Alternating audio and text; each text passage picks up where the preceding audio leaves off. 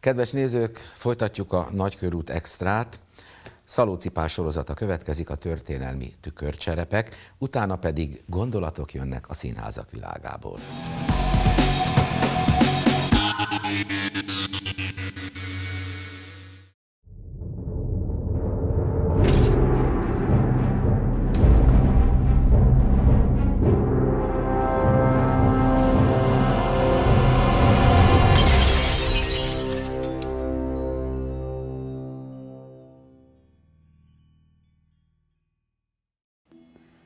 Még nálunk szerencsésebb csillagzat alatt született népek esetében is ritkaságnak számít, hogy egy jelentős uralkodót egy olyan másik kövessen, aki tovább viszi, netán gazdagítja is a kapott örökséget.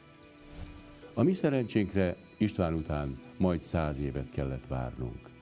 Persze kellett hozzá egy jókor jött felismerés is. László királynak nem volt fiúgyermeke, így testvére Géza fiait vette számításba. Először a kisebbik álmos személyében vélte meglelni az utódot, az idősebb Kálmánt inkább püspöknek szánta. Aztán az időközben a reverenda elől Lengyelországba szökött Kálmánt, László hazahívta és mégis utódjául jelölte. Ezzel téve gesztust a pápának, és ezzel hintvel a későbbi viszálykodás magját a két testvér között. De László váratlan halálára legalább az utódlás elrendezett volt. Kálmán első bölcs uralkodói döntése az volt, hogy öccsét Horvátország kormányzójává tette. Éppen jókor, mivel az első keresztes seregek rabló csapatai komolyan veszélyeztették az országot. Hol a diplomáciai egyeztetés, hol a fegyveres megütközés bizonyult sikeresebbnek, a nagyon is kétes eredetű és összetételű keresztes csapatok ellen, akiknek az áthaladását Kálmánnak elvileg biztosítania kellett. Dalmáciai hódításait és adriai terjeszkedését aztán már a pápa, de Velence sem nézte jó szemmel. Kétségtelen, ilyen hosszú tengerpartot sem előtte, sem utána nem mondhattunk magunkénak.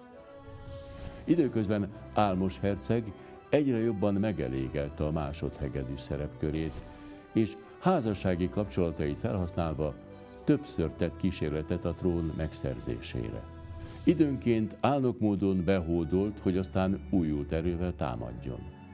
Kétségtelenül nem volt szerencséje, átmeneti támogatói végül mindig békét kötöttek a magyar uralkodóval. Talán ebben rejlett Kálmán igazi nagysága kiemelkedő műveltsége, páratlan intellektusa és kivételes diplomáciai érzéke magasan a többiek fölé emelte. Nem véletlenül nevezték el könyves Kálmánnak.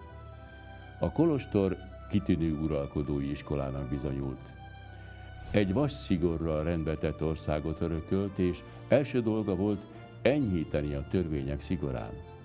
Fontosabbnak tartotta a következetességet és a rációt, mint a makacs keménységet. Képes volt korának teljes értetlenségére kijelenteni, szállóigévé téve, hogy boszorkányok pedig nincsenek. Pontosabban a törvény úgy szólt, boszorkányok ellen pedig, akik nincsenek, semmi nemű kereset ne legyen. Másik korát emlékezetessé tévő lépése volt, hogy korlátok közé szorította a birtokos urak mind mohóbb terjeszkedését egyszer mint védelmet nyújtva a nincs teleneknek.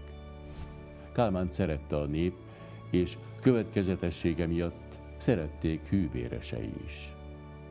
Ma azt mondanánk a sors iróniája, de nem volna méltányos így minősíteni a sikeres uralkodó sikertelen magánéletét. Első felesége korán meghalt, pedig Feliciának hívták, ami szebb jövőt ígért volna.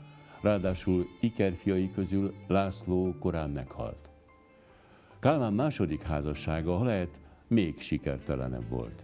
Eufémia rutén hercegnőt, hogy megint a nevekkel játszunk, csak komoly eufémizmussal lehetett erényes, előkelő hölgynek nevezni. Viselkedése inkább a ma másik csoportos sorolta, akiknek a létét a bölcs király olyan álhatatosan tagadta. Nem is tehetett mást az uralkodó, mint hogy a fiút, Boris herceget nem ismerte el sajátjának. Biztosan jó oka volt rá. De ha visszatérünk Kálmán mai divatos kifejezéssel közéleti tevékenységére, talán nem túlzás egyfajta aranykornak nevezni uralkodásának idejét. Mi is kellett hozzá? Mindössze kiemelkedő műveltség, páratlan intellektus és kivételes diplomáciai érzék. Sajnálatosan ritka egybeesés.